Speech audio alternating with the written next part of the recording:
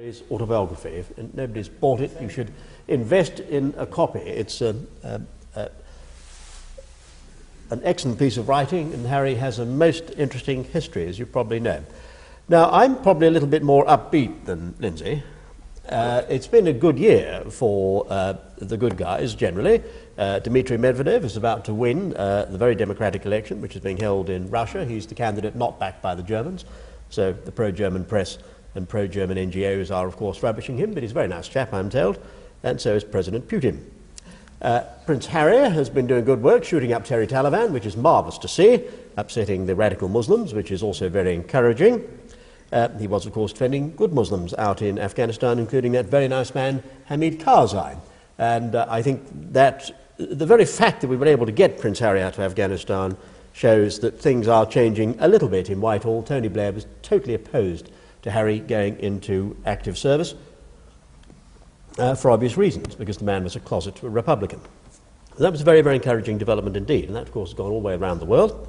Uh, we've had excellent snow this winter, which has blown away the global warming nutters. Uh, most global warming nutters these days, if you, how, how to tell a global warming nutter, because they've all got flu in winter, because they'll throw away their winter woolies. Um, or they're stuck, in, they're, stuck, they're stuck by the side of the road because they gave up their snow tyres, winter tyres, and snow chains.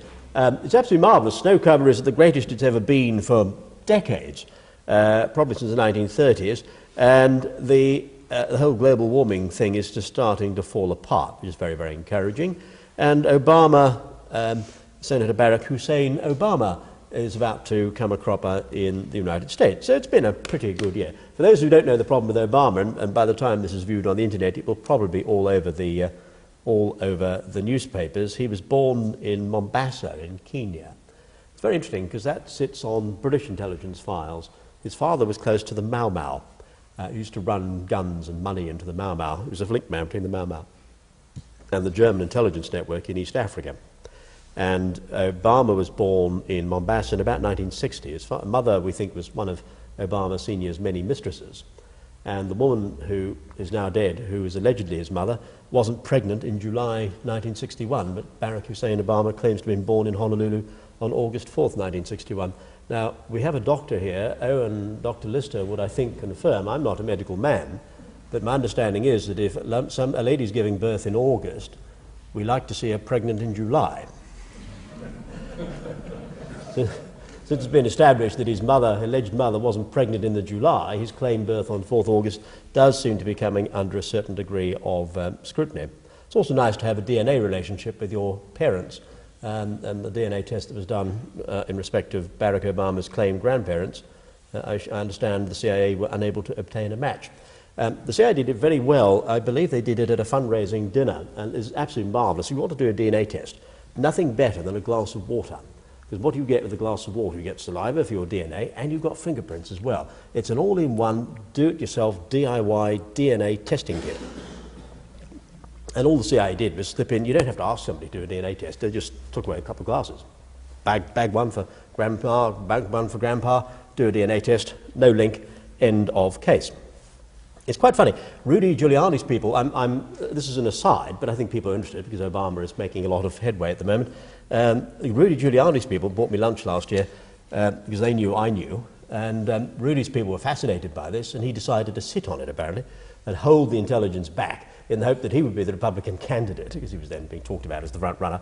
Um, and then he could bounce it on the Democratic Party after the convention in August, which is absolutely absolutely crazy. I've been talking to Hillary Clinton's people who are, uh, seem quite interested. So I don't, I don't think it'll be staying secret for much longer. So it's been a good year so far. Now, the, I'm now going to talk about what I've been asked to talk about, which is very rare for me, for those who've heard me before. Normally I talk about everything, that, everything else that's not on the agenda. Uh, the legitimacy of our membership of the European community. Well, we should approach this uh, logically unlike Bob Lomas, no offence intended. We should approach it logically. Um, is our membership legal? Is it in accordance with constitutional principle, which is a different question altogether? And in the international plane, are we bound by the treaties? Uh, why do I draw a distinction in what happens domestically and what happens internationally? Because we are a dualist jurisdiction. And in a dualist jurisdiction, treaties like this only take effect in the international plane. This treaty is not law. It can only be made law by Parliament, which is why we have the European Union Amendment Act going through, or the European Union Amendment Bill. Uh, if the bill is granted royal assent, and it may not be, entirely matter for the Queen whether she grants royal assent or not, uh, entirely matter for the House of Lords whether they impose a referendum requirement. It may not make its way through the House of, uh, the House of Lords. I suspect it won't. I suspect there will be a referendum uh, successful amendment in the House of Lords. Uh, note, for those who are interested in the treaty, this treaty, the ratification of this treaty, is currently suspended in Slovakia. Yes, the media have not picked up that, probably because they confused Slovakia with Slovenia and all went down to Zagreb instead of Bratislava or what's the capital of, uh, of uh, Slovenia? It's not Zagreb, Zagreb's Croatia. That's too fast a ball for me. Sorry? Ljubljana, yes, yes, yeah, yes. Remind me, I've never been to Slovenia. I've been, I've been to Croatia. Sorry? Yes. Exactly. Um, uh, I've been to Croatia, but I don't think I've ever been to Slovenia. Um, uh, the media are probably confusing the two. Uh, Slovakia is the country where the treaty is held up. The opposition have more sufficient votes in the Slovakian parliament to block approval of the treaty. It requires a special majority. Uh, although they don't have a simple majority to block the treaty, they have sufficient numbers to block the ratification. And in Slovakia, it is, in Bratislava, it is uh, suspended indefinitely. Now, when it's going to come back in, we don't know. The rumour in the intelligence community, and as you know, I'm not a spy, ladies and gentlemen, I just teach spies um, and do the odd bit of analysis for them uh, and uh, bail them out of trouble when they get into trouble, and spies do occasionally get into the odd bit of legal trouble. Not everything they do is entirely lawful. Um, so I only advise spies and teach spies. I'm not a spy. But um, the word in the intelligence community is that we cut a deal with the Russians over Slovakia. The Russian SVR has very good connections in Bratislava. Surprise, surprise, it used to run the place. And when it was the KGB, and the rumour, although I, I, don't, I can't confirm this, it's only a rumour, the rumour is we cut a deal to bump off that idiot Georgian who surprisingly dropped dead of a heart attack just a couple of weeks ago. And that happened about two days after Slovakian Parliament blocked the Treaty of Lisbon. But it's only a rumour. I, would be fascinated to know exactly, exactly who was doing what to whom. Uh, the, but because the treaty only operates in the international plane, you have to get an Act of Parliament through in order to incorporate it. If there was no European Communities Act, nothing in the Treaty of Rome would be lawful in this country at all. Now, it is also the case under the British Constitution that Parliament is supreme. Parliament can do whatever it likes.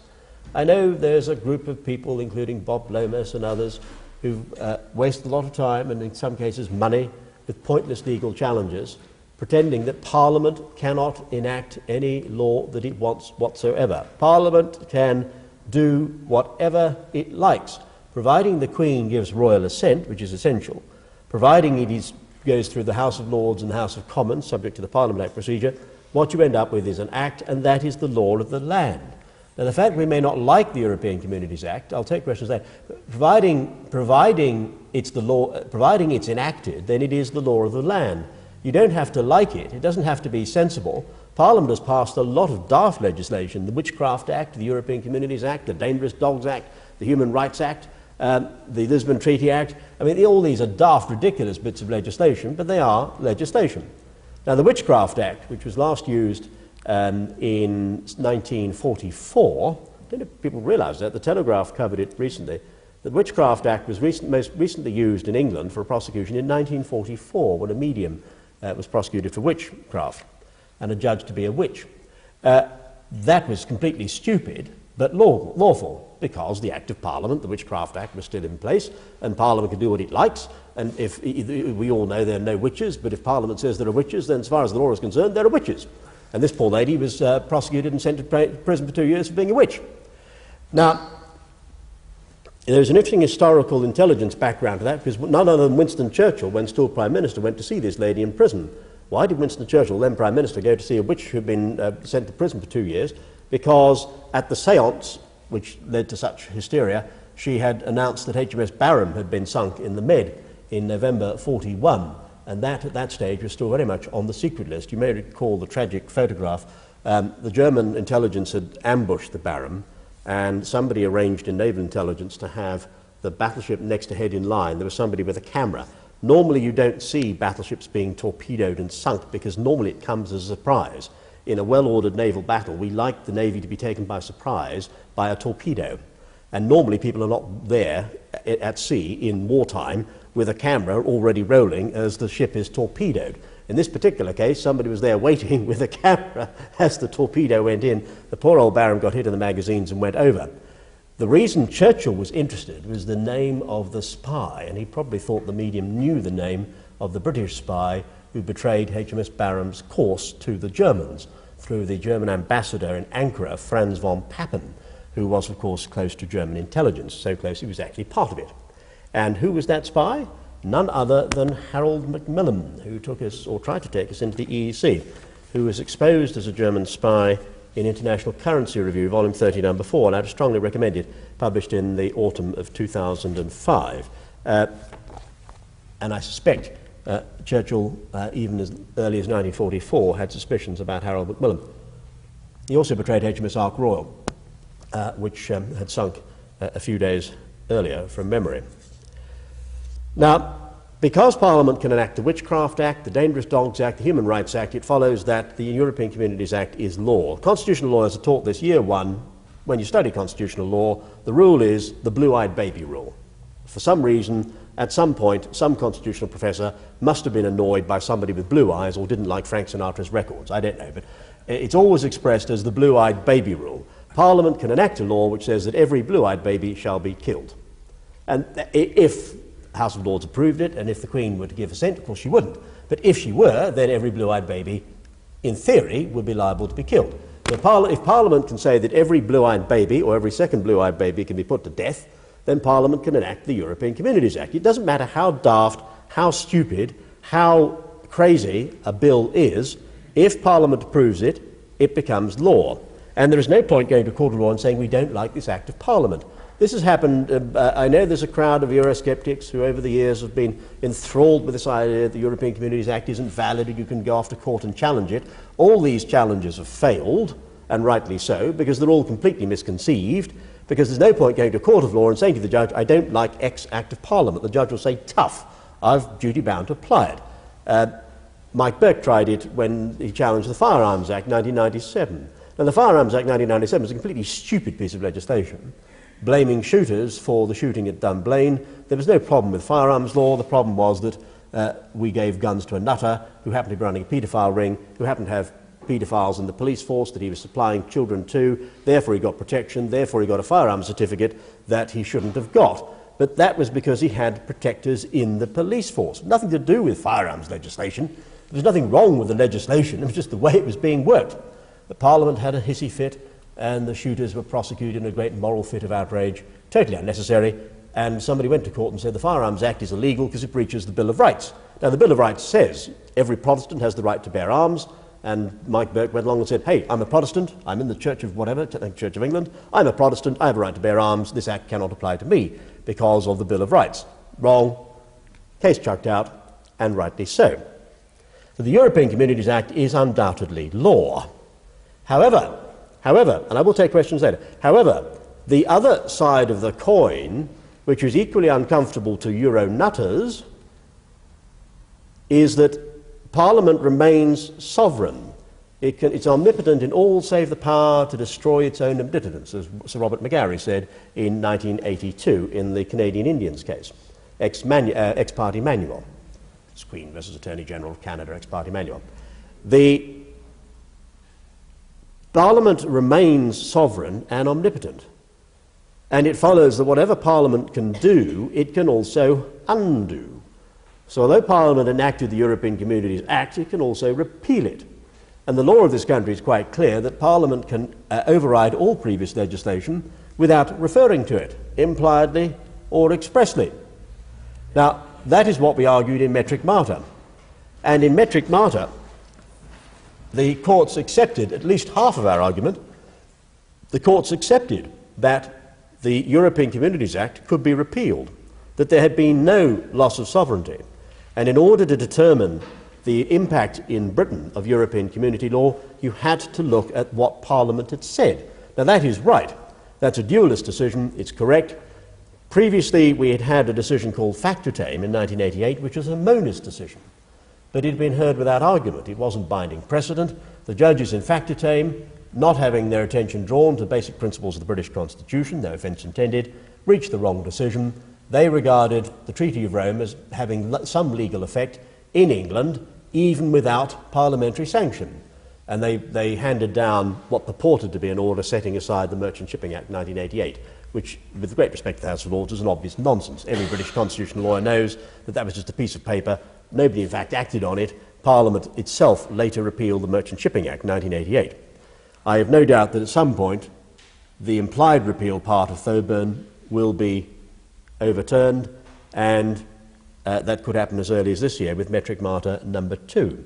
It's not widely known, Mr. Chairman, but in the Thoburn case, the authorities on which the court relied were authorities which were not put to me or my learned friend Eleanor Sharpston, who was my opponent. We were never told about them. This idea that a constitutional statute cannot be implied to repeal was dreamt up, with respect, dreamt up by the judges after argument. We were never called back as we should have been and said, hey, what about this point? In fact, in argument, some of you may have been here when I was arguing metric martyr. In argument, when I said to the judges, there are no such things as constitutional statutes, there's either a statute or there isn't, they said, we're not in the first year of law school, Mr. Shrimpton, you don't need to tell us that. So they actually accepted my point in argument and then went away, looked up some cases which had nothing to do with the point, and came back and, and, and handed down this decision. A few weeks later, the Foreign Office revealed that the Attorney General, Sir Geoffrey Howe, Sir Peter Rawlinson, and the Solicitor General, and the Lord Advocate for Scotland, and the Solicitor General for Scotland had advised that my argument was correct in a joint opinion to the government in 1971. But that, uh, that opinion was suppressed during Metric Martyr number one. Now, that's the domestic plane. Parliament can do what it likes, but having done what it likes, it can carry on doing what it likes, and it can therefore undo what it has already done. The Witchcraft Act has been repealed. I'm sure, no doubt that the European Communities Act, which is almost as silly as the Witchcraft Act, possibly even sillier, will be repealed in due course. I turn now to the international plane, which is, and I apologize, this, this is law, so it's dull, uh, and I hope I'm not presenting it too dully. Uh, I, I, can't hear anybody snoring. Law is usually dull. Uh, international law, however, is not so dull, particularly when we're involved with Edward Heath. Now, in the international plane, the UK is not bound by the Treaty of Accession. Why do I say that?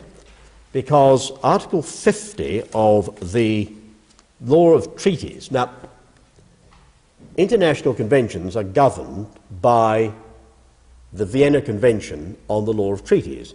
It applies to the Treaty of Rome. The European Court of Justice have applied it. There's no doubt it applies to all international treaties. It is a codified treaty enacting how it is basically treaty law. Article 50 of the Vienna Convention says that if the expression of a state's consent to be bound by a treaty has been procured through the corruption of its representative by another negotiating state, the state may invoke such corruption as invalidating its consent to be bound by the treaty. Oh, yes, indeedy. If you buy up the signatory of a state in international law, that state is not bound by the signature. Makes sense. I mean, if you're, you know, if you're bribing the other party, um, how can that party bind the state who they're representing? Now, in 2005, International Currency Review exposed Edward Heath and Roy Jenkins and Madron Seligman and Geoffrey Rippon QC as agents of the German uh, intelligence organization, the DVD. Now, not everything in this is right. It's actually the Deutsche Verteidigungsdienst, not the Deutsche Versicherungsdienst. Versicherungs is, I think we've got some German speakers here, Versicherungs is insurance. Versicherungs was used as a cover. There was, an, a, there was a German insurance office called the DVD, which was used as a cover for the intelligence agency. The intelligence agency is the Verteidigungsdienst, the German defense service. What happened in 1944, and this part of the um, article, Edward Heath, an agent of the Nazi International, which is not language I would use, but that part of the article is right. In the autumn of 1943, not 44 as said here, in the autumn of 43, Admiral Wilhelm Canaris realized Germany was losing. Uh, in fact, he probably realized Germany was losing uh, on September 4th, 1939. He was, in fact, opposed to the invasion of Poland. And Harry might know this from his intelligence background. Admiral Canaris actually tried to stop World War II because he realized Germany was on a loser. And he actually sent some Abwehr officers into Poland to tip off the Poles by mounting an attack in advance of the German advance, the idea being to uh, get the Poles mobilized uh, so that Admiral Canaris could then go to Hitler and say, oh, that somehow, I don't, know, I don't know how, Herr Fuhrer, but somehow the Poles have discovered we're about to attack. That crazy operation went wrong because the telephone had broken down from this railway station. The whole, whole operation was completely crazy. When a bunch of German agents go and take over a railway station inside Poland, well in advance of the main Wehrmacht attack, that the telephone wires had broken down between there and Warsaw. So the German, the Polish army officer trying to get through to headquarters and his communications had gone and he had no radio. The whole thing was a complete farce, straight out of carry on spying. Um, and that attempt to stop the invasion of Poland failed. Germany invaded Poland, started World War II, and lost. One of the reasons why Canaris didn't want Germany to start World War II is because he already had Stalin signed up, he had Molotov signed up, and Beria, and in the United States, he had key people, including Eisenhower, the Dulles brothers, and in Britain, he had Attlee, he had Heath, he had a whole bunch of people. Uh, Roy Jenkins, they were fairly junior at that point, but he had the cabinet secretary, uh, Lord Hankey, known in the intelligence community as Harry may know as Hanky Panky, uh, because he'd been, he was into little boys and he'd been supplied with little boys by uh, the German intelligence. They had brothels supplying they basically had sort of male brothels and female brothels. They had two at Cambridge, two at Oxford. One did women, one did boys. And they had one in London that did boys, which was run out of Toynbee Hall. Arnold Toynbee was also a German intelligence officer. And they signed up people basically at university. They were very, very good at honey trapping people at university. And once they signed them up early, they tended to keep them going for the rest of their lives. Macmillan was signed up at university, Heath was signed up at university. Sometimes they were paid. Heath was paid £250 a year in Reichsmarks just before the war, which was a fair old sum. Um, Heath was also honey trapped, combination of payment and honey trap. Now, you probably know the famous story that Heath, Heath and Madron Seligman, his then boyfriend, and I, I know I met Madron, he's a perfectly nice chap, uh, but um, gay. And Heath and Madron were sharing a tent, and they were running around on a camping expedition in August 1939, just prior to the invasion of Poland, and they crossed the German Polish frontier. So just picture this, ladies and gentlemen. You, you've got Germany poised to invade Poland, you've got security restrictions, you've got German armies on the German side of the frontier, and a couple of Brits, homosexuals, sharing a tent with the full knowledge of the Gestapo, trot across from Germany into Poland in August 39, go and have a powwow with the British ambassador in Warsaw, and then go back to Germany. Huh? Heath's official version of events is, oh, we were going back home. So they went back home in August 39 to London from Warsaw via Berlin. Yes, I can see why they would choose that. Obvious route, isn't it? Yes. Um, you know, never mind, let's go to Stockholm. let's, let's go to Oslo. let's, let's get out of, let's sail across the Baltic. They went back into Germany. And official version of events is that they were welcomed back into Germany by the border guards, who of course work closely with intelligence. Oh, hello, Mr. Heath. Hello, Mr. Seligman. Uh, still sharing a tent. Uh, you know, the, the idea that Ger- the Gestapo couldn't count tents, the idea that these two chaps sharing a tent. it's all farcical. Of course, Heath was carrying a message back from the British ambassador in Warsaw to Berlin. That was the whole point. Now, Heath and Rippon were both on the German payroll and were still on the payroll in 1972. This is why Heath was able to buy an ocean going racing yacht when his official salary was, I think, £16,000 a year. Now, he couldn't buy or run an ocean racing yacht on £16,000 a year, as well as a house in London. Uh, and a grand piano, exactly. It's all nonsense. The yacht was bought for him by the DVD. The DVD kept him on the payroll. Heath was worth mm, well over a million pounds when he died. I mean, he had, uh, he had about half a million pounds worth of artwork on the home of his house in London. Uh, after 72, the Germans switched the financial arrangements to Peking, and he was put on the board of some companies in Peking. There are various ways of laundering money. Uh, some of it was laundered through Peking. Interesting postscript to the Morning Cloud. When Heath lost the election in 74, and it looked as though the referendum looked as though we were actually going to pull out of the EU. The Germans threw a hissy fit and sank his boat. Somebody pulled the plug on Morning Cloud. It sank in very mysterious circumstances on a very fine day in the Channel. Uh, I think one cabin boy, in inverted commas, died. Heath wasn't on the boat. Whether he was tipped off or not, I don't know. Absolutely entertaining. The story of the sinking of Morning Cloud is almost as interesting from an intelligence perspective as the story is how he acquired it. But it doesn't matter how much he was paid, or where he was paid, or how he was paid. The fact is, Heath was on the German payroll. Result international law, we are not bound by the Treaty of Accession. We can walk out of the EU in the international plane at any time by simply saying, Well, I'm sorry, chaps, you shouldn't have bought up our Prime Minister since he was on your payroll. Um, uh, you're lumbered. End of story. The uh, story in which the EU was set up all involves and turns around German intelligence. Jean Monnet was a German agent. Jean Monnet ran the League of Nations for German intelligence from about 1919 with Arthur Salter, who was also a German agent. Monnet was involved in shipments of gold and currency out of Germany in 44 45. They didn't lose gold in lakes. You don't lose gold in a lake. You're driving along on a road in Germany with half a ton of gold in the back of your Kubelwagen and say, What are we going to do, chaps? I know, we'll chuck it in the nearest lake. Gold may have been deposited in lakes and very carefully marked for later retrieval, but nobody threw away gold. You don't throw gold away. It's one of the things you don't do. If you had a bar of gold, would you throw it away? there's, there's, the nearest river, chuck it in the river. This idea that the Germans lost gold in 44 45 is, is a fantasy. Of course, they didn't lose gold. Monnet, one of his jobs was to secrete gold and assets uh, out of Germany, 44 45, and a lot of them went down to uh, uh, Buenos Aires. Another of his little jobs had been he was an arms broker during World War II. One of his jobs was to try and acquire for the Germans uh, I think vanadium, there were one or two metals that the Germans couldn't get that they were able to supply. Uh, Monnet was organizing uh, through uh, his contacts and brokerage houses in New York.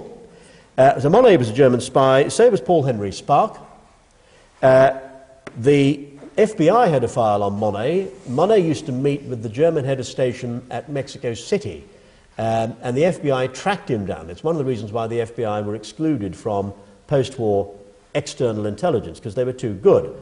Edgar Hoover had spotted Monnet as a German spy, and, and I've actually spoken to FBI counterintelligence contacts who were familiar with that operation. Uh, one of the FBI agents on it died recently, aged about 83, lovely guy, and he was actually on the team monitoring and spotting uh, Monnet's dealings with German intelligence in Mexico City in World War II.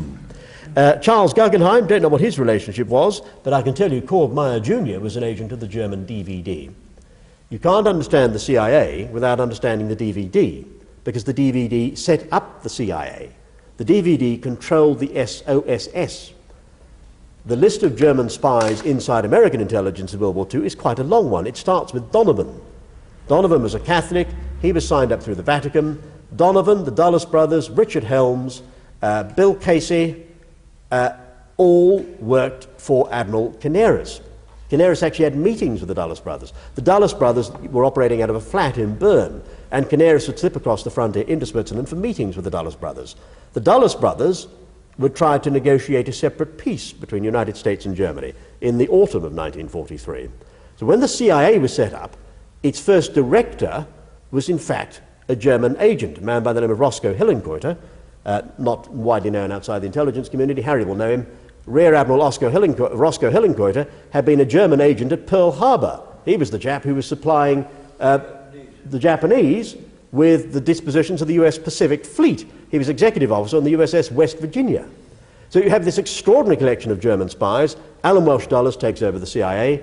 Cord Meyer was one of Allen's boys. Cord Meyer Jr., who was a friend of a friend, I never met him, but uh, I know people who did. He used to live at Eaton Square, not far from Enoch Powell. Cord uh, was working for the Germans, and it was the Germans who arranged the money. That's how Charles Guggenheim was paid.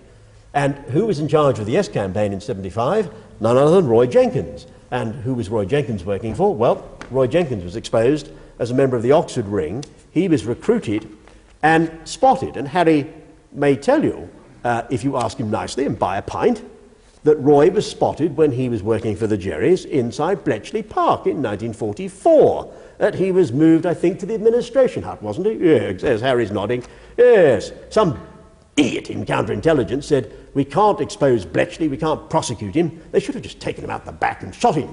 But, uh, uh, you know, uh, never mind a trial. We couldn't have a trial because that would expose Bletchley Park. Well, Bletchley Park was on the secret list. So Jenkins is spotted, moved into the administration hut, a typical British counterintelligence, woolly, muddle-headed thinking he'll do less damage if we put him in the administration hut. Of course, what does he get in the administration hut? All the names of everybody working at Bletchley. God. One of the biggest counterintelligence mistakes of World War II. And what happened in 45? Bletchley shut down under pressure from the Germans. And, of course, MI5 never get the counterintelligence files from Bletchley.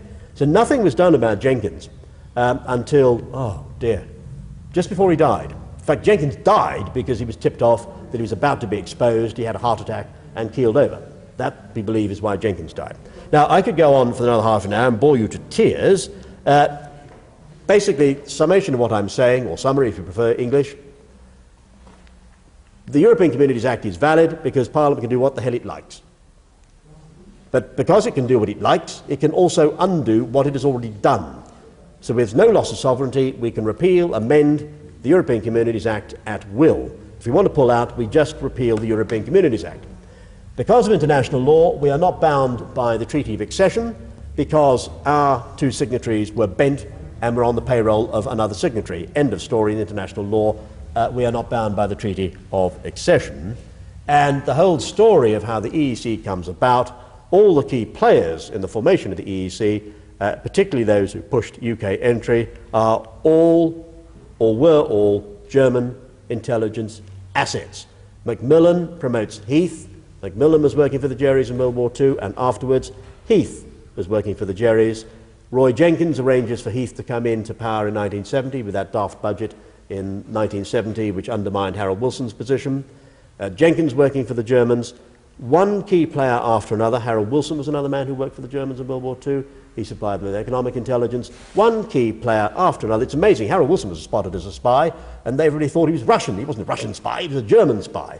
Trouble was, his control was in Moscow, and the Germans had penetrated Russian intelligence, and they were using their assets in Russian intelligence to control Harold Wilson. All of that ring, the Cambridge ring of spies, uh, uh, uh, Victor Rothschild and uh, uh, Kim Philby, whose father was a German spy, Harold, uh, Burgess, Maclean, Cairncross, Blunt, that crowd were all German spies. They'd all worked for the Germans. One of them, I think, was a banking office with Rothschilds in the 1930s. Rothschilds didn't employ that many communists. Uh, it's amazing how many trails all lead back to Germany, and you cannot understand the EU, members, ladies and gentlemen, unless you understand German intelligence. You cannot understand British politics or German politics or American politics without understanding the role of the German DVD. You cannot make sense of the assassination of President Kennedy unless you know Richard Helms was a DVD officer and was trying to get Allen Welsh Dulles back in control of the CIA, which he'd lost when Kennedy came in and appointed John McCone to run the CIA. You cannot understand American politics unless you know Eisenhower was a German agent. You cannot understand American politics unless you know Nixon also worked for the Germans, and then Nixon ratted on the Germans, which is why key German assets in Washington were involved in his replacement in Watergate. Uh, nothing makes sense. The politics, the EEC or the EU, unless you understand the role of intelligence. It's not just a political problem, it's not just an economic problem, it is a counterintelligence problem as well. And we have to get out. Uh, we also have, but it's not just sufficient, ladies and gentlemen, just to leave the EU. Yes, we must leave the EU. Yes, it's a nonsense. But we must also sharpen up our Counterintelligence Act and make sure that those who are continuing to report to the Germans, those who are disloyal to this country, are not in any position of power and influence, and we absolutely must break the German networks in Britain and Washington. Hope that was uh, not too dull. Thank you, ladies and gentlemen. Establish that EU law is superior to British law. Did? Did not the Factortame case establish that EU law is superior to British law? No. And if not, why the following question. Factortame was, and I've been accused of speaking too quickly, so I shall slow down. Factortame was the case about the Merchant Shipping Act.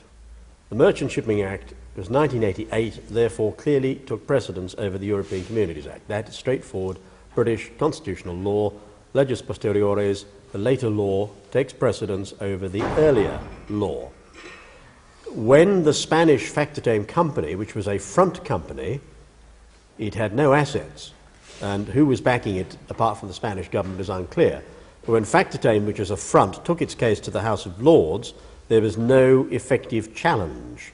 The Attorney General did not argue the constitutional principle that one Act of Parliament could not bind its successor. Now, in 1971 and 72, Parliament was told in terms that that is what would happen. That if the Costa case and the Van Gend en Loos case, the European Court of Ju- Justice cases were all known about. They were referred to in the parliamentary debates in 71 72. The House of Commons was told by Sir Geoffrey Howe, we went into this in Metric Martyr, and the House of Lords was told by the Lord Chancellor, Lord Hailsham, that in the event of a factortame type situation, a later Act of Parliament breaching community law, the courts would give effect to the later Act. Now, the House of Lords failed to give effect to the Merchant Shipping Act, but their decision was not binding because nobody had argued the point.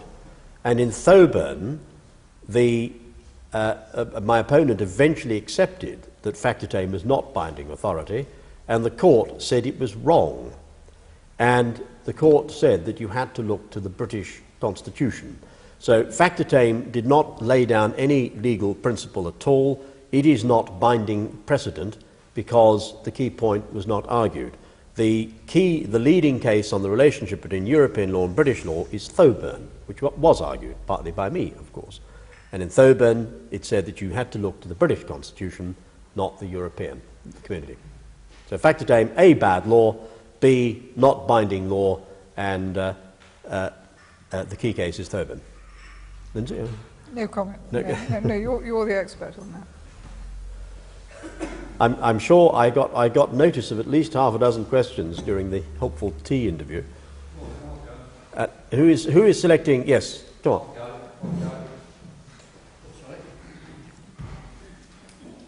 I have here your CV, which I downloaded from the UKNDA site, uh, which a friend and I are looking at because Yes. we seem to feel it's funded by the EU, but uh, The- you the- might or might not want to deny that.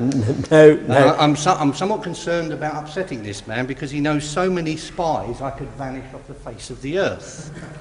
However, I'm going to do my best because, firstly, the blue eyed baby boy argument Yes. Parliament may not pass a law that says all blue eyed baby boys can be killed. The reason they cannot is because the Declaration of Rights says that there can be no Hold on, don't shake your head. There can be no cruel or inhuman punishments inflicted. And the people of this country in 1689 refused the permission of the people in this country for the sovereign to pass that bill, for, anything that does that. So, in fact, the people of this country have prevented the sovereign doing the, giving the royal assent, and therefore Parliament cannot pass a bill to which the royal assent cannot be given. That's true. That is correct. So the people, could, the Parliament could not pass a law ordering that all blue-eyed baby boys should be killed. They cannot. They have been refused that permission. Right. Parliament feel that the Bill of Rights, the Declaration of Rights, does not apply to them. It does because it affects what the Queen can give permission for, for Parliament to do, and that specifically refuses a large number of things for sovereign. Right. Can I, can I deal with th- that? That's, there are two parts to your question. Yeah, the first part, That was your, a question, that was a statement. yes, with respect, I think we're in question time, aren't we? Yeah, right, Yes. okay. Right, well now...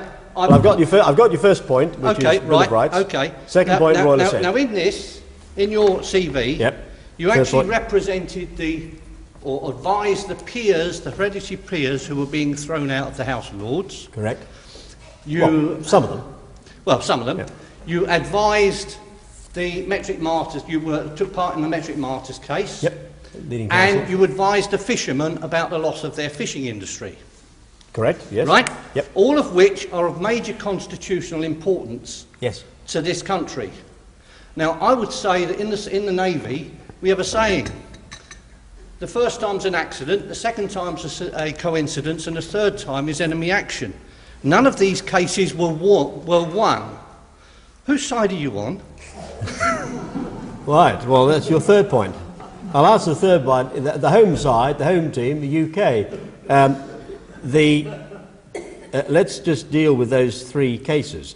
Uh, only in one of those cases did I argue the case in the point of law, and we won on the several issues. We didn't just. Uh, uh, met- metric Martyr involved a whole series of points, most of which we won. If I start with the first case you mentioned, the, factor te- the fisherman, I was instructed by a group of Cornish fishermen in 1992 in Newlyn who were opposed to the Factortame decision, and my advice went to Bill Wade, then our leading constitutional lawyer, sadly no longer with us. I think Bill actually agreed with it, and I said in that advice exactly what I said today and in Metric Martyr that the Merchant Shipping Act had, was law, could not be set aside, the House of Lords were wrong, but the fishermen didn't have resources to take the case forward, and the company which instructed me was, I suspect, I, I mean, I don't know, but all I know is that the case was not taken forward. So, uh, although I advised them, uh, and advised them correctly, it was up to them to take the case. Uh, there were no funds uh, there may have been political pressure down in Cornwall, I know not, but that case was never taken forward. So I never appeared as counsel in Factortame. But I said to them exactly as I said to you this afternoon, and I copied my opinion to Bill Wade, author of Wade's Constitutional Law, who was then the leading constitutional lawyer in this country. And Bill also saw my opinions in Metric mart. He loved them. I mean, you know, we, we had, I'm blowing my own trumpet, but since nobody else will, I have to blow my own occasionally. The, the, uh, all of my paperwork in Metric Martyr, my skeleton argument, my opinions, all went up to Bill Wade in Cambridge. And he could see, I think, you know, he understood what I was arguing. In the second case you mentioned, which was the peers, I wasn't arguing a case in a court of law. Uh, I advised the peers, a group of about 30 uh, peers, as a constitutional expert, on the status of the so called Parliament Act 1949. But again, politics came into play.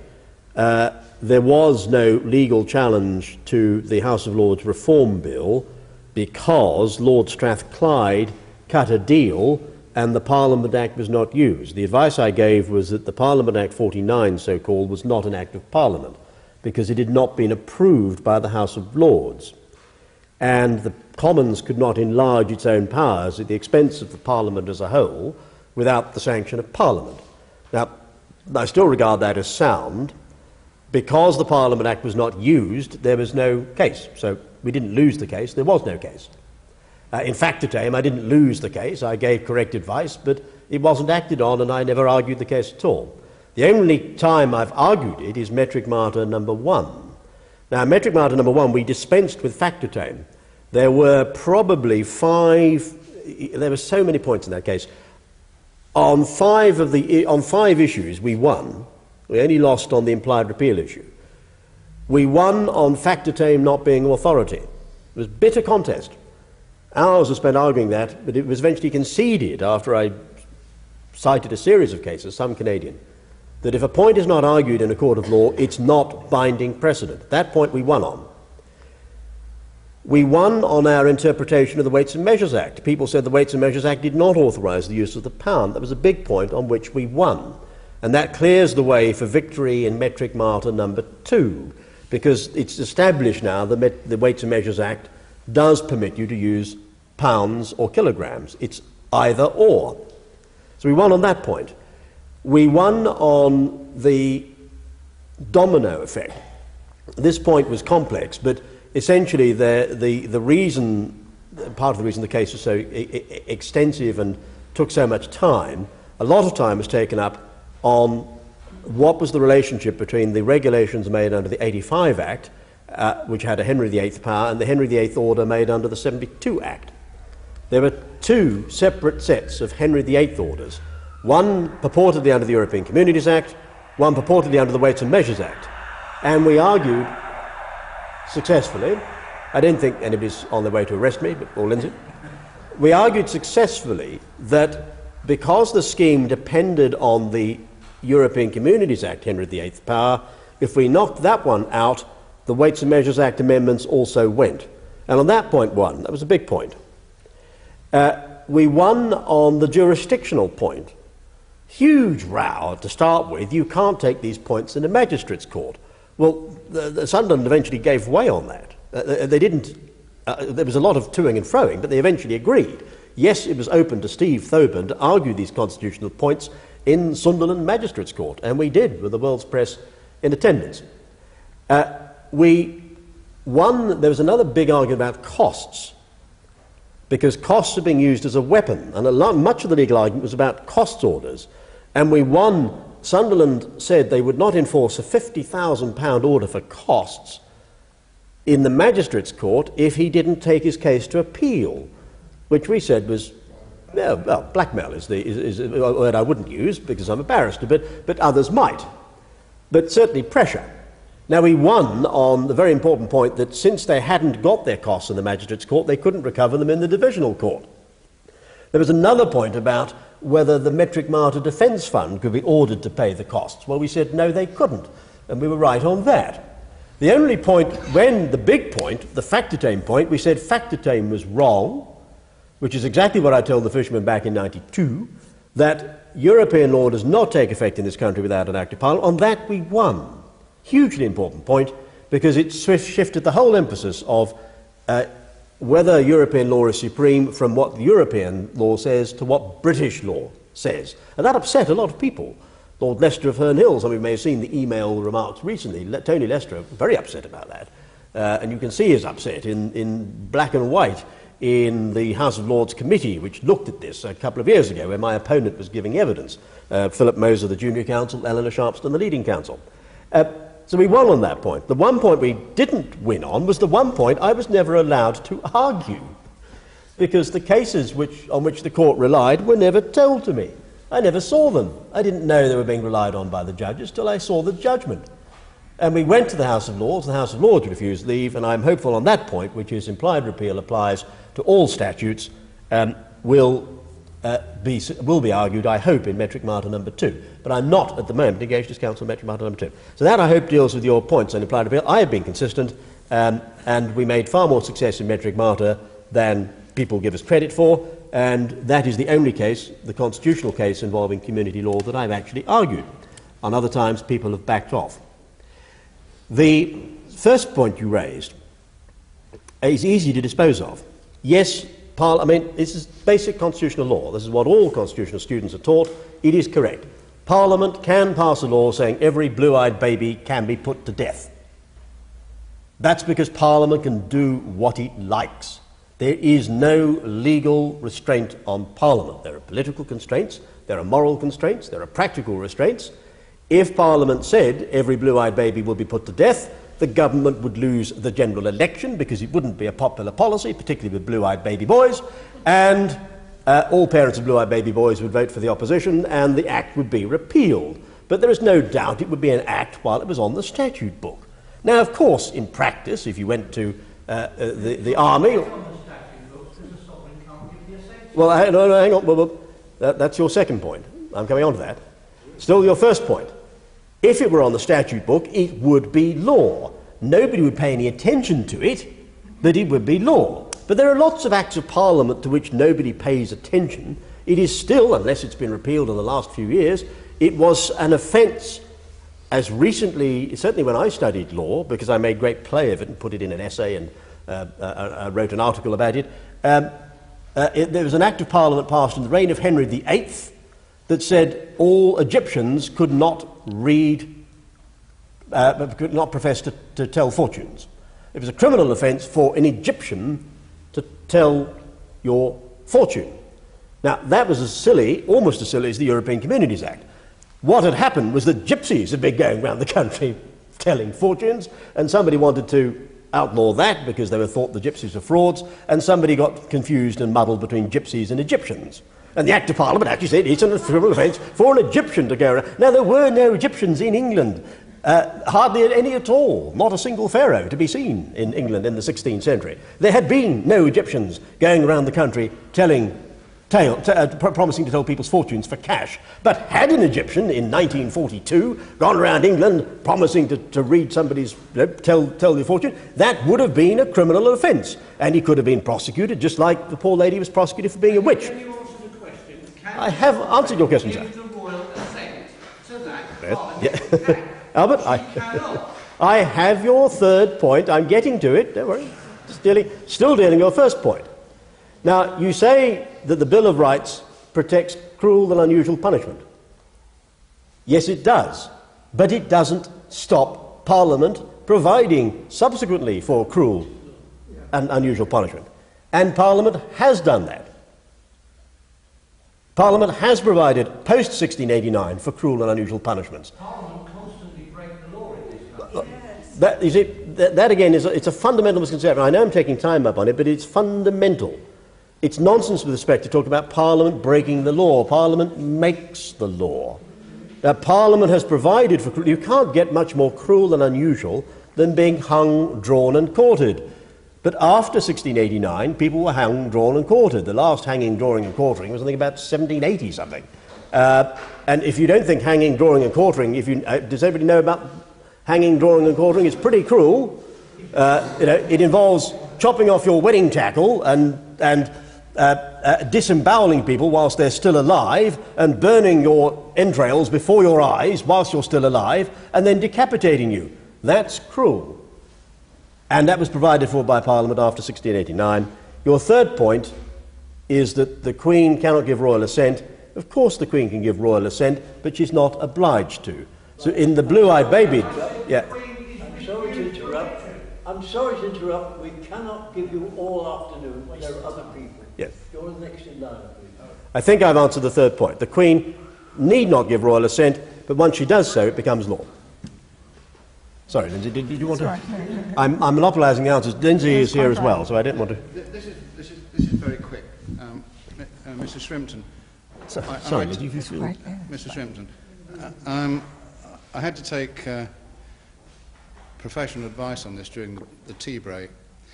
But um, are you aware that all babies at birth have blue eyes? and, and the pigmentation comes later. I, I didn't know that, but then, you see, th- then, uh, well, I'm sure it is. Then the Act would say all blue eyed babies must be killed, so that would say all babies must be killed. It may be that is why we use that as an example. You- You've probably now explained something to me that I didn't know. Why do constitutional lawyer professors always talk about blue eyed babies? Because all babies are blue eyed. So the Act would say all blue eyed babies must be killed. That would be an act of national suicide, but then you could argue the European Communities Act is an act of national suicide. Harry. Next question, please.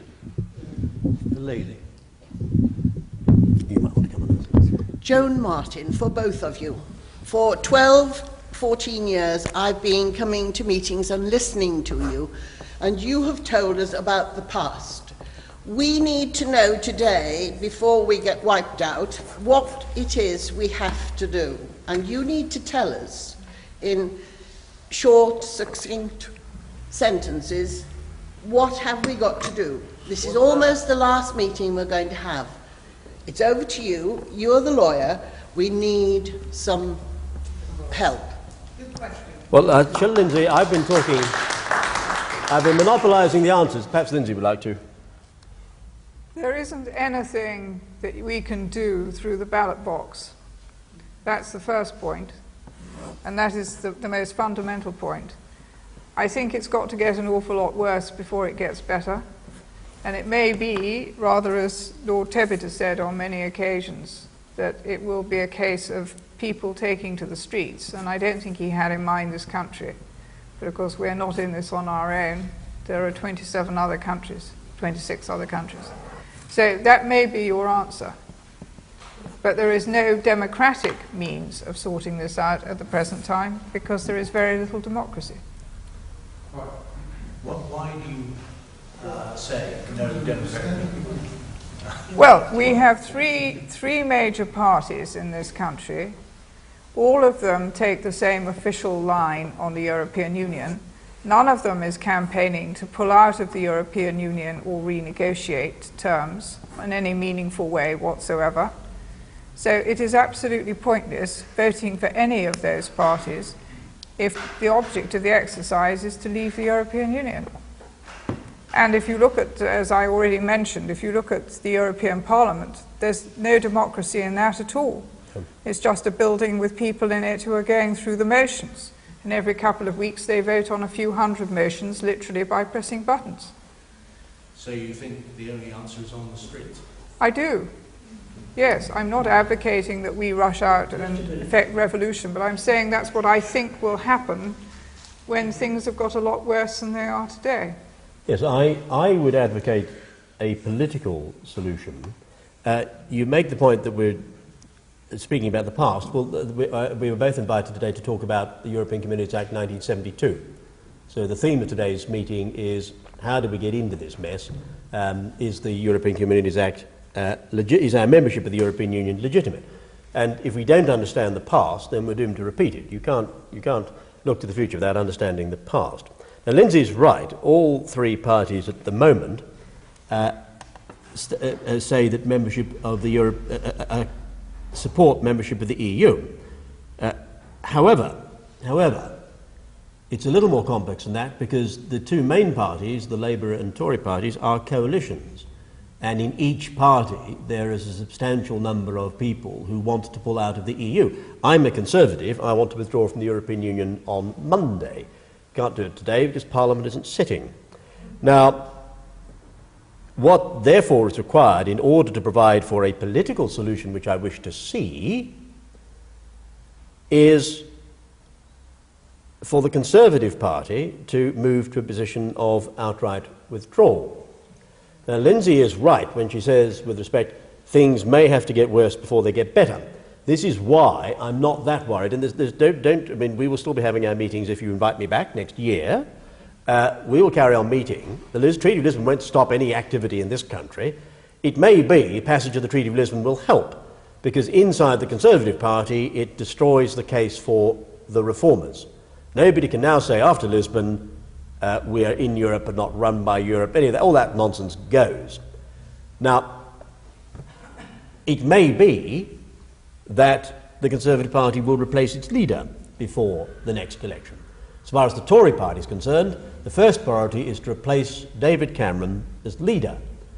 That is not as difficult as it sounds because there is certain intelligence which I wouldn't need to go into, but there is certain intelligence being used by the bad guys on him which we now have, and politics is, you know, at the end of the day, he supports membership of the EU. Uh, politics is um, not very pleasant at times, and it may be that he will have to be forced out. I certainly would support removing him as leader. I didn't vote for him. The man's a fraud. He did, after all, promise to pull us out of the EPP. And that promise is, in my view, clearly fraudulent. Uh, who then replaces him? Well, Michael Ancram, he doesn't want the job, but uh, might be prevailed upon to do it. Um, John Redwood is another strong man. Uh, he doesn't come across well on telly, but he, he has sound opinions, and policy at the end of the day, I think, is more important than personality. Uh, so? Bill Cash, uh, yes, uh, again, sound views on Europe. I think Bill will be better off as Attorney General than, uh, than, than uh, Prime Minister, but there are, there are people in the Tory party who are opposed. Sorry? No, exactly. Roger Helmer, and I tell you another young man who, Daniel Hannan, is spoken of very highly. And it doesn't have to be an MP, it can be a peer, although we may have to change the party constitution to provide for a peer being leader. Uh, I would have Norman Tebbit in a shot, but um, uh, uh, uh, some would say he's a little bit old. I don't. Uh, w-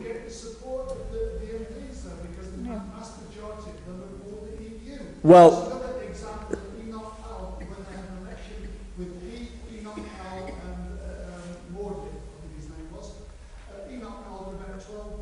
Yes. Uh, Enoch Powell was undermined very deliberately by Edward Heath. That speech he gave in West Midlands, he was set up. The chairman was warned by Central Office and asked to, because Central Office had a copy of the speech, the, the quote that uh, Enoch had about, the Latin quote about the River Tiber, was going to be a classical quote, and it was switched into English in order to set uh, Enoch up. And Enoch's counterintelligence uh, uh, mind wasn't quite uh, fully, you know, his, his antenna weren't fully tuned in that evening. Uh, it-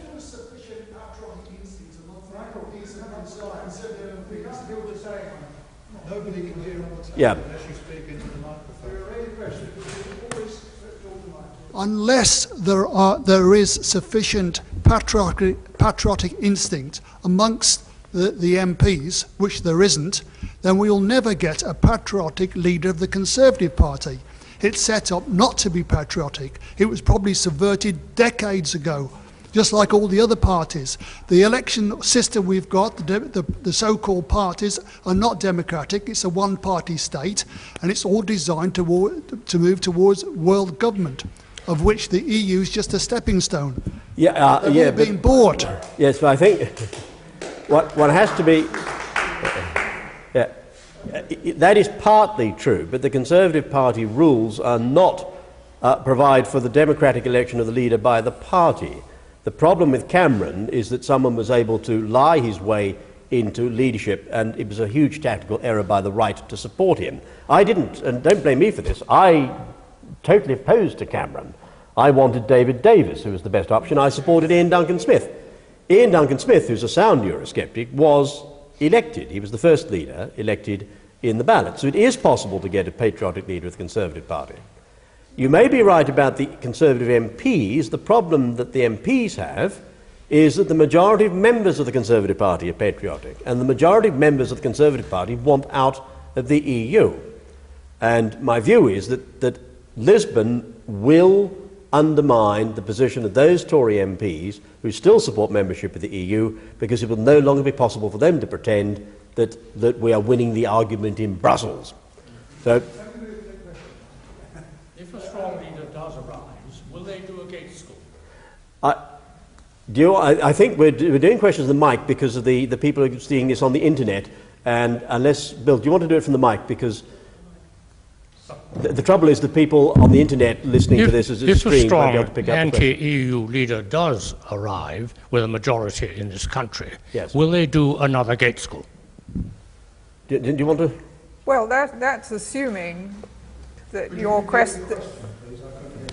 He's, he,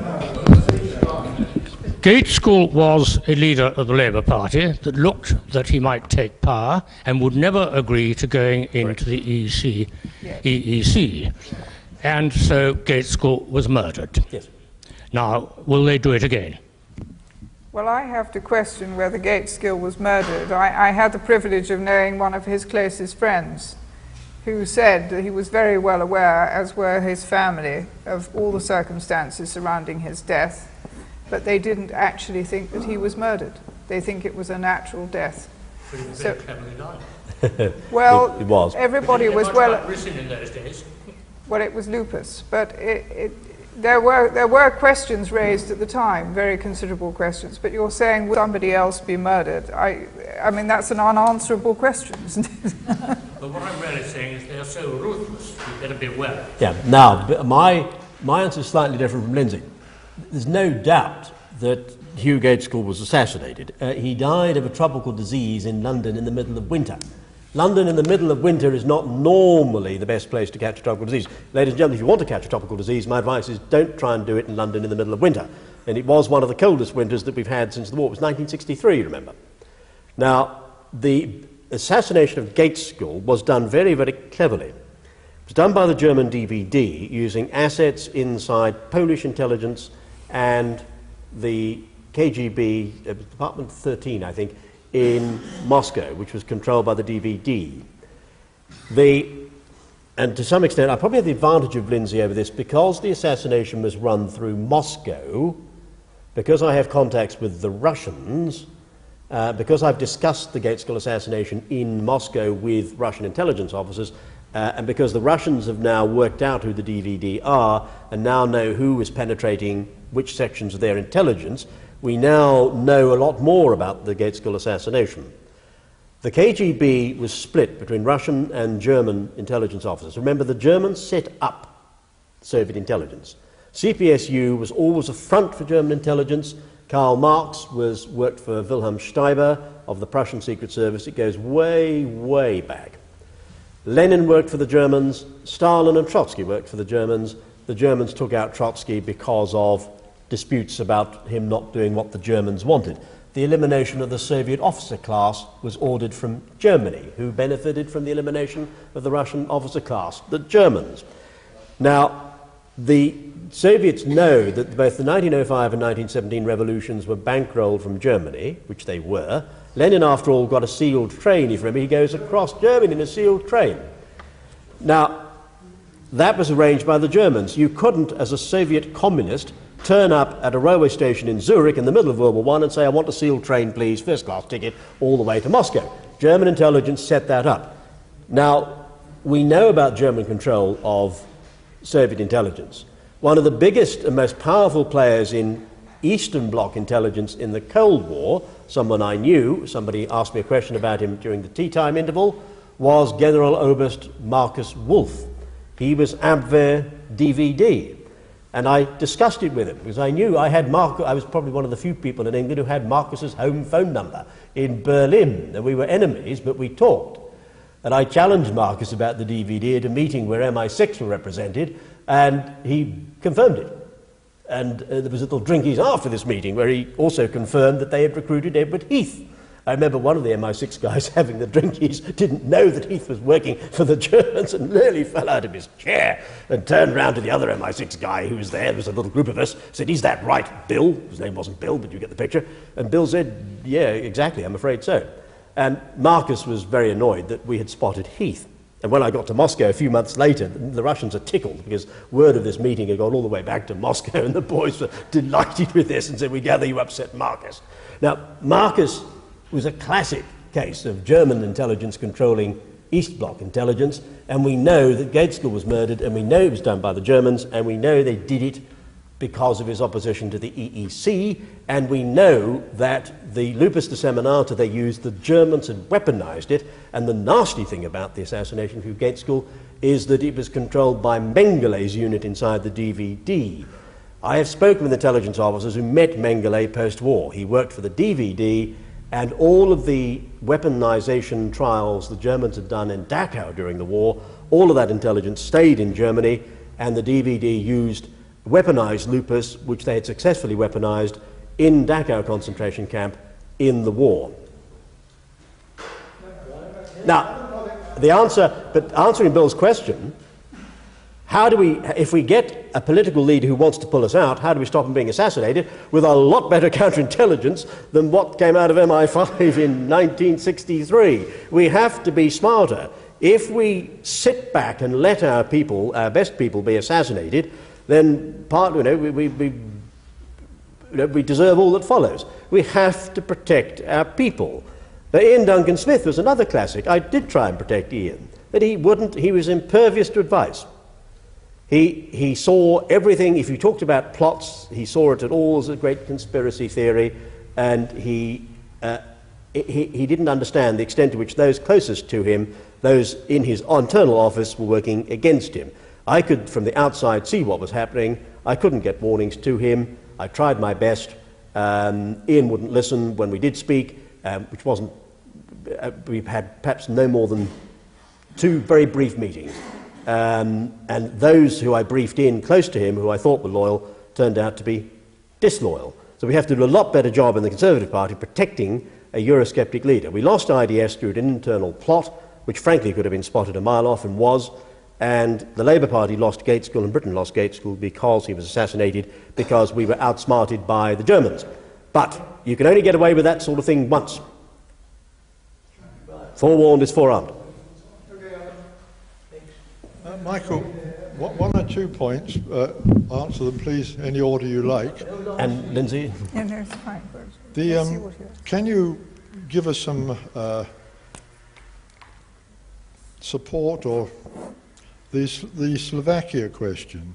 Ah. Does that, uh, and I'd like to add one or two before you answer, please. Does that mean there's every chance that things will be delayed by that mm-hmm. and perhaps by other countries? You might comment on that, please, in a minute or two. You also referred to um, Barack Obama as being very likely to be washed out mm-hmm. of the thing very, very quickly. Yep. On that sort of basis, is there any chance of something even bigger than we've had here, getting rid of Brown and this crowd of no-gooders? Um, Archbishop Sentamu has uh, said many things today, which is a great pity that Cameron hasn't said, but he has said them, and I think that will probably continue to reverberate. T'other thing that occurs to me, the, I thought there was a case going on at the moment with Hackney Council, who also seized some scales recently. Perhaps you might comment on that as well. Thank you. Uh, Lindsay, do you want No, to comment that's on for this? you. I Sorry. think that's for you. That's I'm conscious right. that I'm slightly That's monopolising right. this, and I apologise to Lindsay if, if I am. Uh, Metric Martyr number two is underway. Uh, it's next in court on March the 7th, next Friday, but I'm not instructed in that case at the moment. No, I've, a- I've been asked if I'll do it pro bono. I've said I'll do it pro bono, but it's up to solicitors. I can't, I, I, they have to come to me. I can't tell the solicitors who to instruct. That's Metric Martyr number two, the London Borough of Hackney case. Janet Devers is the defendant. But Metric Martyr number two gets underway, but it, we're a long way from the a long way from the constitutional argument stage because the strategy in Metric Martyr number two, as announced publicly, is that she's elected jury trial on some of the charges, and uh, the Crown Court can't deal with the constitutional issue because Thoburn is in the way. So it's only when, if and when Janet's case gets to the Court of Appeal that there might arguably be a role for me, but I, you know, I'm bound by the rules of my profession. I can't tout for the case. It's up to Janet and her solicitors. They can have whichever barrister they want. Um, and in any event, even if I were briefed, which is not a matter for me, I can't argue the constitutional point uh, any stage below the Court of Appeal. There is talk, there is talk of Steve Thoburn's conviction being sent back to the Crown Court by the Criminal Cases Review Commission. And if that is done, which is a matter for the Commission, then the courts could again look at Steve Thoburn's conviction. And we would point out, if that was the case and I were involved, I would point out that the authorities on which the court relied were never shown to me or my opponent, and that the Attorney General's advice was suppressed during the hearing of the case. Uh, your other points on Kenya, doing them in reverse order. Y- yes, uh, I believe that Obama is about to withdraw or be pressured into withdrawing. The reason I think it's happening soon is se- several reasons. One, I briefed in Senator Edwards' people in Chapel Hill, North Carolina, and after my briefing, Senator Edwards called for a meeting with Senator Obama, and Senator Obama appears, I stress appears because I wasn't at the meeting, but appears not to have denied that he was born in Mombasa. Edwards has held back on endorsing Obama. I think that's why. Obviously, I can't speak for Senator Edwards, you'd have to ask him. Uh, but I have been in contact with Senator Edwards' campaign people. Uh, I've also been in contact with Hillary Clinton's people, and I've been in contact with people close to Bill Clinton and a former director of Central Intelligence, director of the CIA when Bill Clinton was president. He has made his own inquiries. I was speaking to him as recently as Friday night. He's not denying that Obama was born in Kenya. Uh, the Kenyan government is aware because of files on the National Security Intelligence Service in Nairobi. The Daily Telegraph are aware. The Daily Telegraph have got reporters on the ground in Kenya, and I supplied the names of four NSIS senior officials to the Daily Telegraph, um, and the Daily Telegraph are not denying.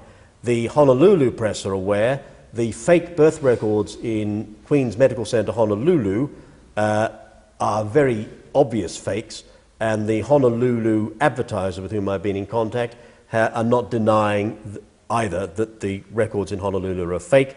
Uh, Senator McCain's people, I'm in touch with Senator McCain's people. I've been talking to his people for some years on my, my as you probably know, I want to see Britain leave the EU. I also looking ahead to what we do when we leave the EU. One of the things I'd like to see is a UK US free trade treaty, and I put that to Senator McCain's foreign affairs advisors several years ago. So I have contact with Senator McCain's people anyway. Senator McCain's people are not denying that Obama is born in Kenya. I think Senator McCain is in the loop.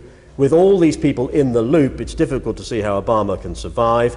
The reason it's on British intelligence files is because MI5 got the Nairobi Special Branch files in 63 when Kenya became independent. So we shall see what happens. Uh,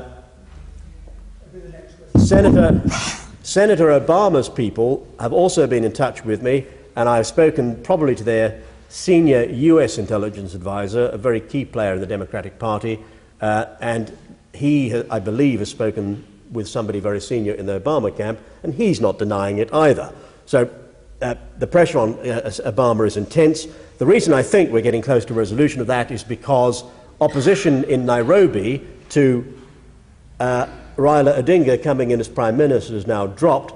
The reason, part of the reason we lost a thousand dead in Kenya this year is because there was great anxiety to keep the Obama birth in Mombasa a secret, and there was heavy pressure to keep Raila Odinga out of power in Nairobi. Kofi Annan, I believe, is in the loop. Kofi has been talking to Bill, and Kofi has now dropped away from his opposition to a settlement in Nairobi.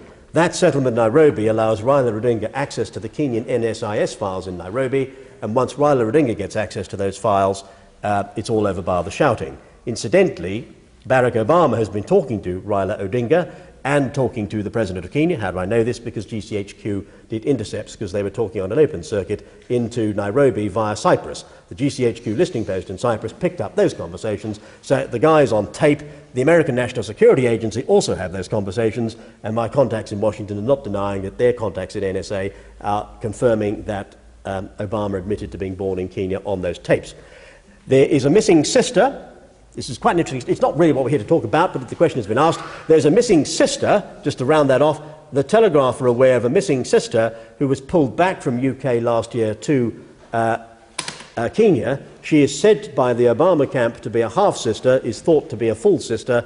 That means that her DNA would verify that Obama is her, is his, is her, sis, her brother not her half brother, and that would blow away the claimed birth in Queen's Medical Centre, Honolulu, 4th August 1961. The sister has gone walkies, and nobody can find the sister, and the Daily Telegraph, with whom I've been in contact, cannot locate this sister anywhere in Kenya. All they know is she was pulled out of England in a, in a terrible screaming hurry, having gone to an awful lot of trouble uh, to get here.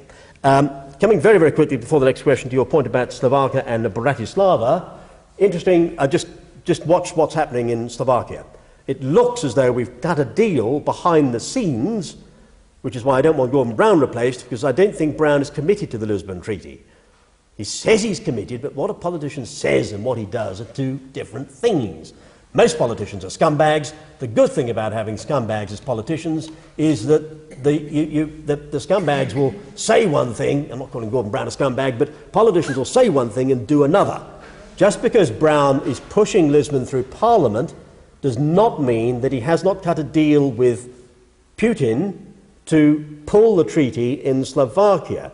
Now, there were discussions between Gordon Brown and the Russians, and where were those discussions held? They were held in Switzerland, where at Davos. Why did Gordon Brown go to Davos? Quiet chat with the Russians, I believe. So my sources tell me. Now, if we've cut a deal with the Russians, Brown may be pushing Lisbon in order to keep his party together, which is why he's so opposed to a referendum, and he may be relying on the Slovakians to kill the treaty. All I know is the treaty is indefinitely suspended in Bratislava. It's all right, Robert. I'm not going to mention the British National Party this time. a question for Lindsay, I think, because I'm conscious that I'm monopolising all the questions. Last spring, Sorry. Peter came home from one of these meetings and said that you had said we would be out of the EU Ah, in yes. 60 I know. in- let me finish in 60 days Yes. 60 days I know. we got the calendar out Yeah, and calculated yeah. that was his birthday the 11th of Oh. June what happened Yeah, we cut a deal. They cut a deal. we had cut a deal.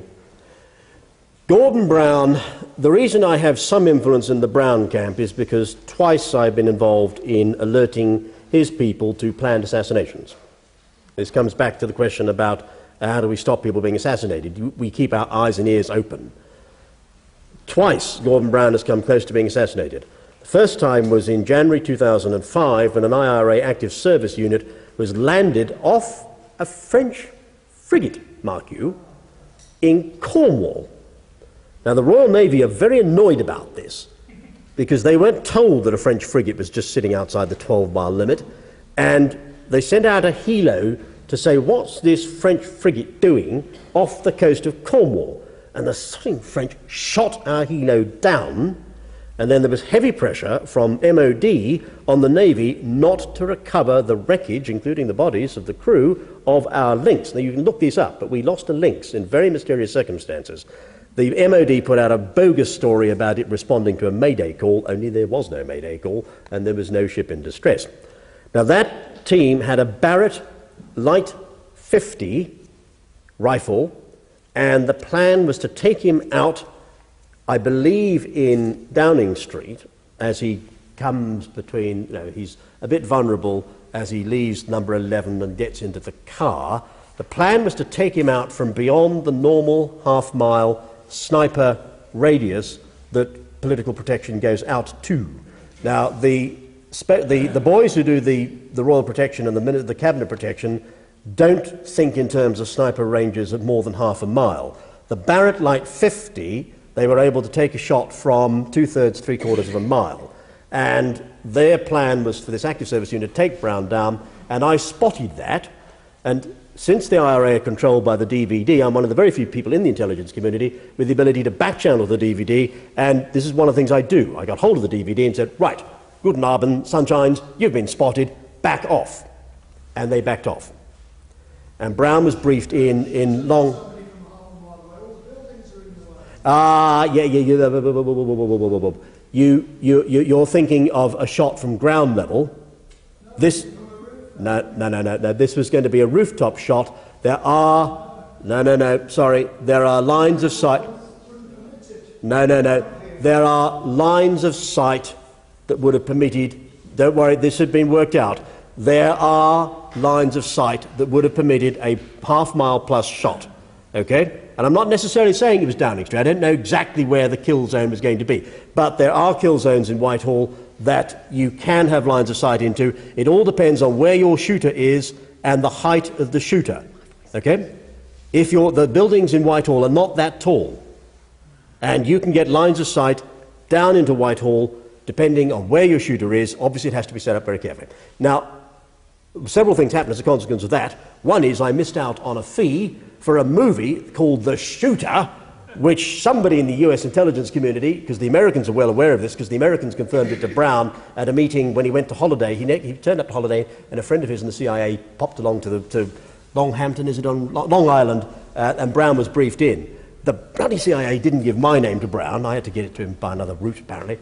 And somebody took that plot and sold it to some wretched movie maker in Canada who made a marvelous movie about it called The Shooter uh, which is all about the Barrett Light 50, the shooting range. Everything's there, except it's, it's, it's translated from Britain to the United States because it's aimed for the American market. And I never got, I never got a fee for that. I'm really irritated about that. Never mind. Question? I'm actually not going to ask a question. I just would like to put forward a point of view, a very non academic point of view. We seem to go around in circles, we can go around in circles for days, weeks, months, years, and we'll never get out, uh, we'll never be, we'll still be in the EU, we'll never be, have our sovereignty. May I suggest that a very simple way, if people like the ordinary man in the street doesn't understand all these legal terms and the interpretations, there was a very good book written by the late Daphne du Maurier called Rule Britannia.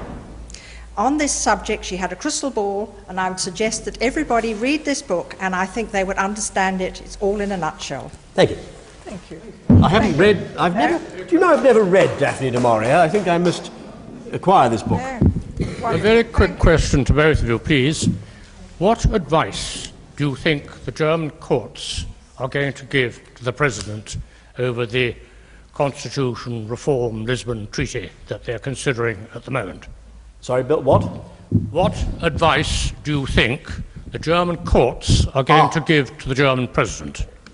That's for you. Okay. now, just quickly finishing off the bit of the question I support. There was a deal, and it fell apart because Brown didn't get rid of John Scarlett. The key is Scarlett. And once Scarlett was retained, the deal collapsed. But the deal was pull us out of the EU, and you get into number 10, we're out of the EU, the Germans stiffed us, and Scarlett once, once I knew the deal had fallen apart as soon as course, the whole thing's deniable. I mean, this was never proved uh, and, and, denied officially, uh, like most things are. But the deal fell apart because Scarlett got in the way, and Scarlett was working with various friends across the channel. Uh, so we're now trying to, you know, we're moving forward. That was plan A. We're now working on plan B.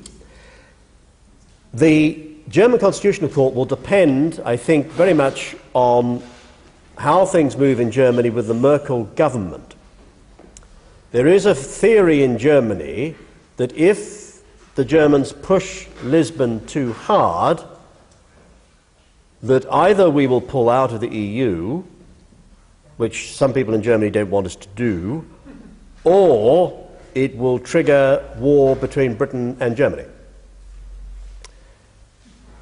Senior strategic officials, intelligence, military planners are already looking at the possibility of another Anglo German war being triggered by Angela Merkel's goose stepping over Lisbon. No offence intended.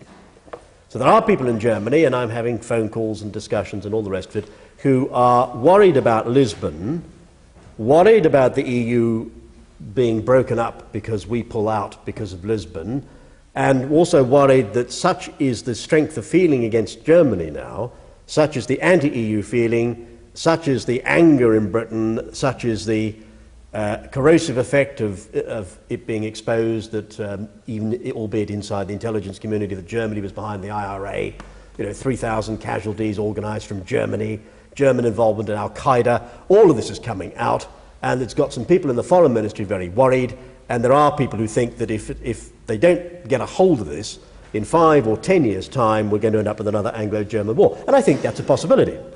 If the Germans cannot get a grip if they carry on in this goose stepping fashion, then we are going to end up like we were in 1939.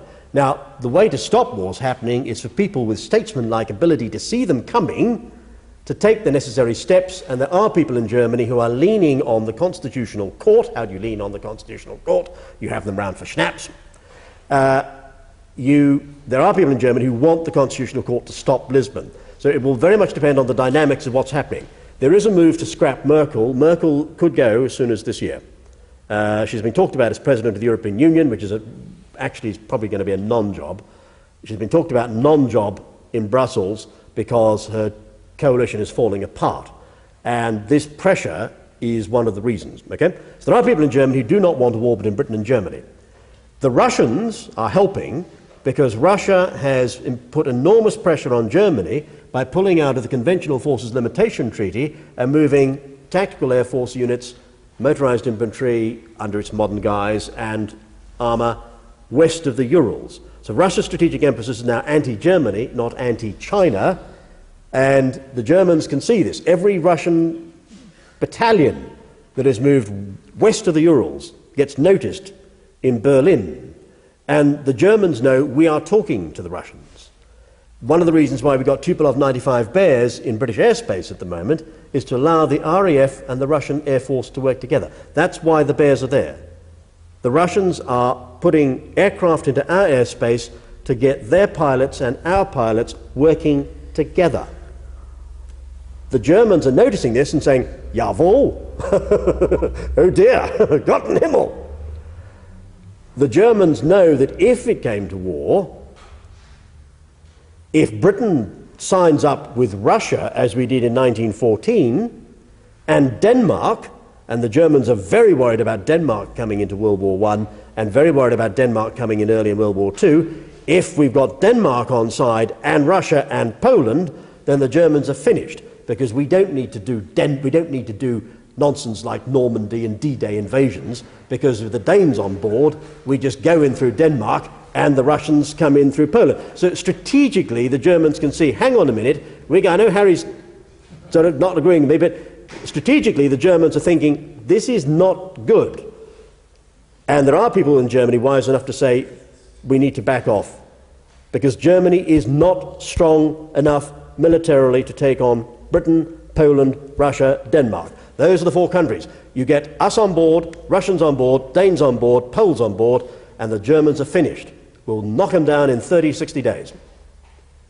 Everything seems to lead back with you to Germany. I don't believe a word of it.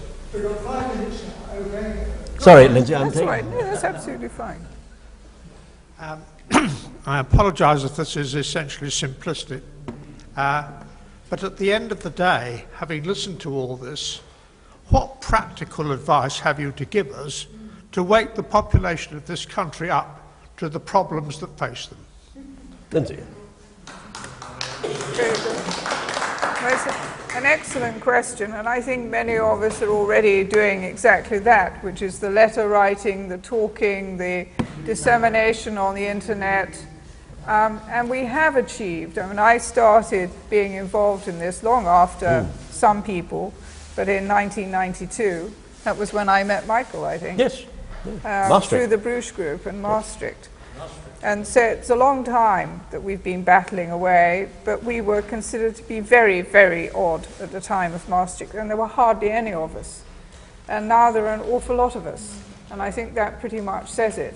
But I, I would sound one little note of, of caution on all this. We had more people when we were fighting the Maastricht Bill, because I was in Bill Cash's group at Great College Street. Mhm. So, so? There were, yeah, there were more people we had in the House of Commons on the, on the Conservative side who were on our side than we have today.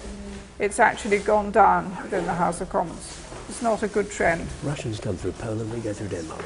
Deal done. Uh, do you want an answer from me to that?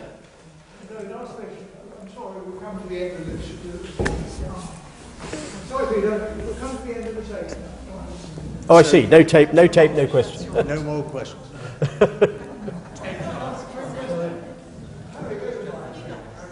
Is it essential we have it on the tape? No. You want to take? Uh, we, can take we can take. We can take the question. We can. When take- we've reached the end of the session, you all have a lot of questions to ask. Um, it's only fair that we give our speakers a chance to rest after their labours. I think we've covered nearly everything.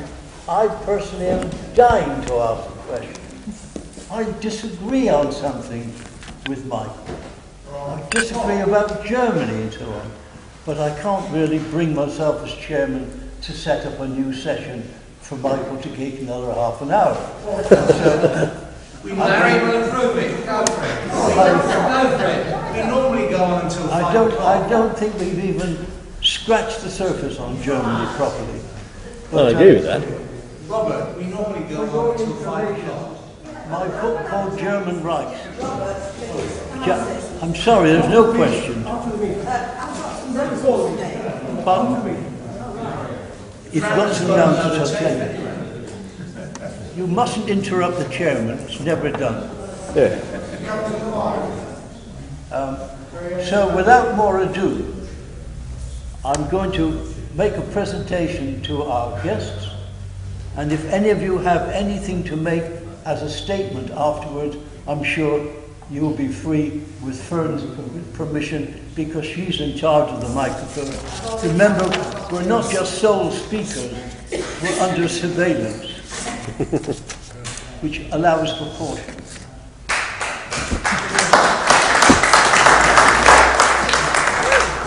Thank you. Now, as I said at the beginning, we have the privilege of not one, but two very special speakers. So